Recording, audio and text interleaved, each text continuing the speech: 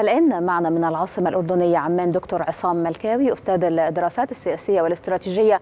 دكتور عصام أهلا بك. لا أعرف إن كنت استمعت إلى هذا التقرير الذي عرضناه الآن لكن وفقا لكل المعطيات إلى أي مدى نحن نعيش مقدمات حرب عالمية ثالثة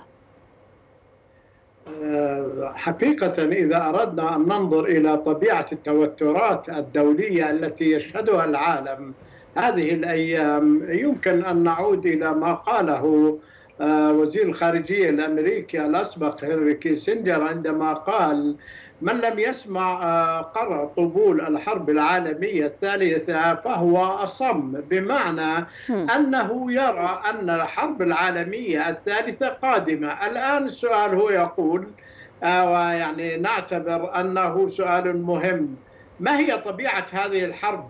التي يمكن أن تكون أو تسمى حربا عالمية ثالثة. مم.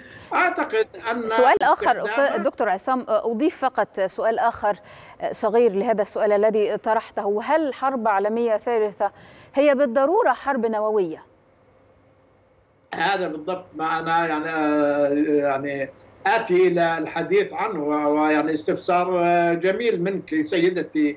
أعتقد أننا آه، إذا أردنا أن نقول أن الحروب مستعرة فهي منذ زمن طويل مستعرة بين كثير من القوى الدولية أو بين فاعلين دوليين وفاعلين غير دوليين. لكن السؤال الذي يبحث عن النصر دائما وهو أو ما يسمى النصر المطلق فأعتقد أنه سيكون خاسرا لأن مفهوم النصر المطلق الآن أصبح غير موجود أو في علم السياسة غير موجود لأنه إما أن تكون أو لا يكون. يعني هنالك ما تسمى المعادلة الصفرية.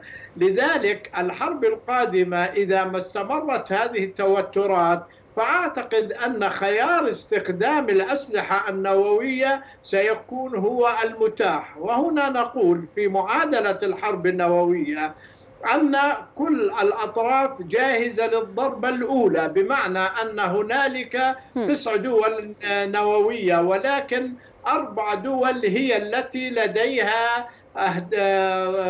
قذائف وصواريخ نووية مم. تشغيلية فورية جاهزة للاستخدام الآن بمعنى أننا أمام 2100 رأس نووي جاهز للاستخدام الآن من قبل أربع دول من التسع دول النووية الآن نعم. طيب آه، دكتور عصام آه، عفوا طبعا للمقاطعة لكن آه، وقت هذه المقابلة انتهى آه، سريعا دكتور عصام وفقا لكل هذه المعطيات وعدد هذه الرؤوس النووية التي ذكرتها الآن هل من كوابح آه، للوصول لهذا المنعرج أو لهذا المنعطف؟ أين تكمن الكوابح؟